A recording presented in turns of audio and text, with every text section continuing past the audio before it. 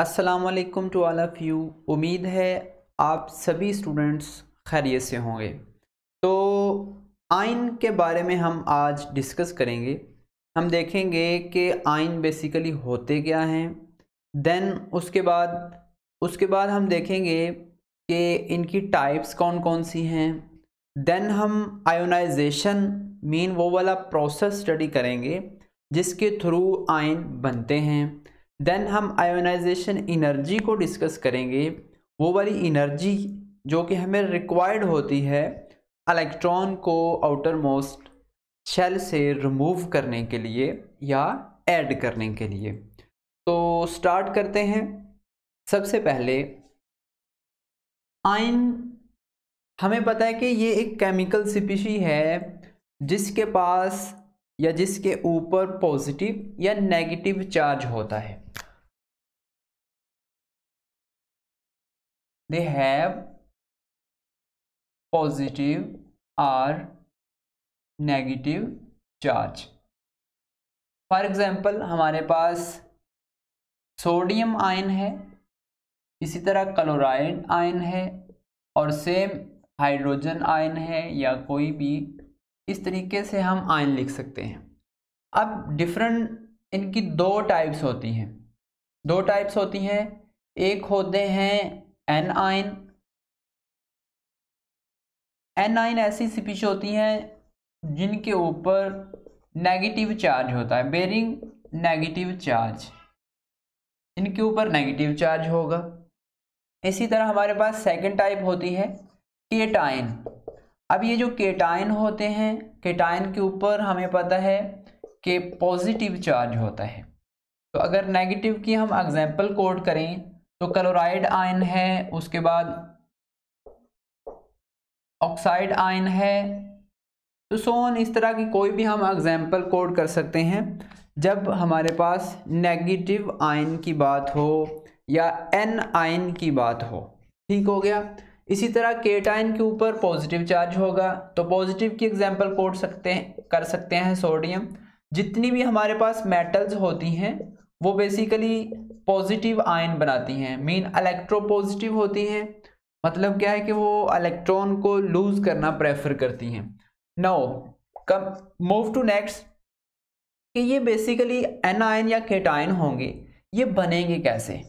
How they how they form मतलब ये बनेंगे कैसे? तो हमें पता है कि पॉजिटिव आयन उस वक्त बनता है जब कोई भी एलिमेंट या कोई एटम अपना इलेक्ट्रॉन लूज़ करता है। अब देखें फॉर एग्ज़ाम्पल हम सोडियम लिखते हैं। सोडियम एक एटम है। तो ये क्या करेगा? अपना एक इलेक्ट्रॉन निकाल देगा इस तरीके से। लूज़ किया इसने इलेक्ट्रॉन तो इसके ऊपर पॉजिटिव चार्ज आ जाता है। पॉजिटिव साइन इसलिए लिख देते हैं। कि प्रोटॉन की तादाद जो होती है वो बढ़ जाती है और न्यूक्लियस के ऊपर पॉजिटिव चार्ज आ जाता है। फॉर एग्ज़ाम्पल सोडियम अब थर्ड जो पीरियड है, उसका मेंबर है। तो ये मैं ड्रा करता हूँ। कुछ इस तरीके की शक्ल इसकी बनेगी। ये वाला सारे का सारा जो होगा, ये न्यूक्लियस होगा। अब हमें पता है, पहले में दो इलेक्ट्रॉन होते हैं और सोडियम का जो अटामिक नंबर होता है, वो अलेवन होता है। सेकंड में एट इलेक्ट्रॉन होते हैं, बाकी बचने वाले एक आखिरी शेल में होगा। अब ये वाला जो इलेक्ट्रॉन है, ये इलेक्ट्रॉन रिमूव हो रहा है। तो पॉजिटिव आयन बन रहा है और इसी को हम बोलते हैं केट आयन और सेकंड सेकंड कैटेगरी में हमारे पास आएगा एन आयन हम देखेंगे कि एन आयन कैसे बनता है। फॉर एग्जांपल जो क्लोराइड आयन है, ये सॉरी क्लोरीन होती है, ये पॉजिटिव सॉरी इलेक्ट्रॉन गेन करेगी और हमें क्या देगी? एक नेगेटिव एन आयन देगी। अब यहाँ पे क्या हुआ है कि हमने इलेक्ट्रॉन ऐड किया है। तो नौ चूँकि जब केटायन बना तो हमें बाहर से एनर्जी प्रोवाइड करना पड़ी। तो जो बाहर से एनर्जी प्रोवाइड कर, करते हैं, उस प्रोसेस को हम एंडोथर्मिक प्रोसेस बोलते हैं। ऐसा प्रोसेस जिसमें हम बाहर से एनर्जी दें, इस वाले इलेक्ट्रॉन को मतलब आउटर मोस्ट इलेक्ट्रॉन को रिमूव करने के लिए जो एनर्जी हमें रिक्वायर्ड होगी, उस, वो हमें मीन देनी पड़ेगी, बाहर से देनी पड़ेगी, उसको हम एंडोथर्मी कहेंगे। और यहाँ पे यहाँ पे इलेक्ट्रॉन हमने आखिरी शेल में ऐड किया है तो उस ऐड करने के लिए एनर्जी रिक्वायर्ड होती है तो वो देन जब ऐड करते हैं तो हमें एनर्जी बाहर निकलती है एनर्जी रिलीज़ होती है। तो ये एक एक्जोथर्मिक प्रोसेस होता है। मीन एनर्जी एग्जिट होती है। नौ ये जो एनर्जी है, आखिरी शेल से इलेक्ट्रॉन निकालने के लिए, इसको हम आयोनाइजेशन एनर्जी बोलते हैं।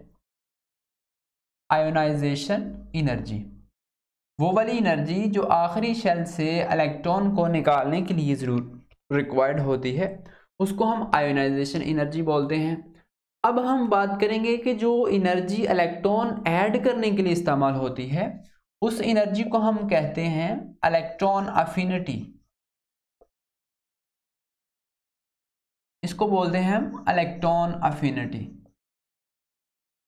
मतलब क्या है कि जो एनर्जी हमें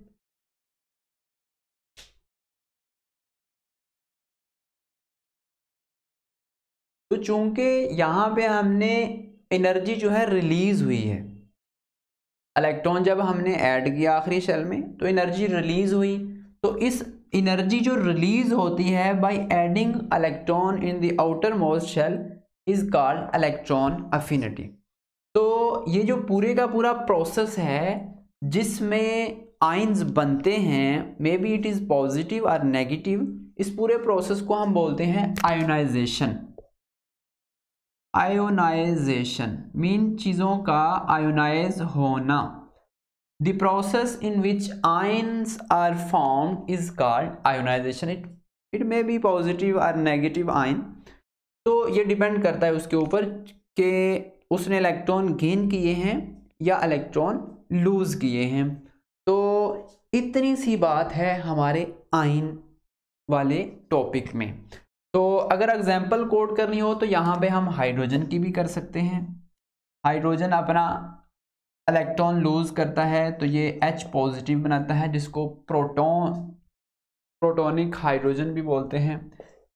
उसके बाद नेक्स्ट हम एग्ज़ाम्पल कोड सक, कर सकते हैं कैल्शियम अब ये दो इलेक्ट्रॉन अपने रिलीज़ करता है सॉरी कैल्शियम जो होता है, ये दो इलेक्ट्रॉन रिलीज़ करता है और प्लस टू चार्ज के साथ दो इलेक्ट्रॉन बाहर निकल जाते हैं।